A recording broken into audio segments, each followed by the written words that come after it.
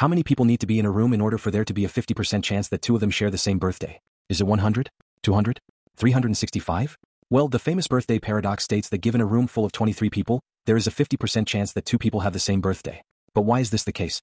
In today's video you'll be learning about why this statement is true, and why it actually makes perfect sense when you think about it mathematically instead of intuitively. In order to understand how this paradox works we must first ask a simpler question. What is the probability that you do not share the same birthday as someone? First let's say that you are in a room alone by yourself. What is the probability that you do not share a birthday with anybody in the room? Well it's 365 over 365 which equals 100%. This is because there are 365 days in total so we get 365 for the denominator, and there are 365 days that you could be born in, without matching anybody else in the room so we get 365 in the numerator as well. Now let's say that you're in a room with one other person. What is the probability that the two of you do not share the same birthday? Well there are 365 possible days in the year which you could have been born so we get 365 over 365 for your possible birthdays. Now, the other person can only have 364 possible days that they can be born in without having the same birthday as you.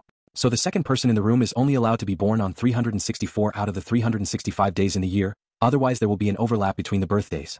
So the probability that the two of you do not share the same birthday is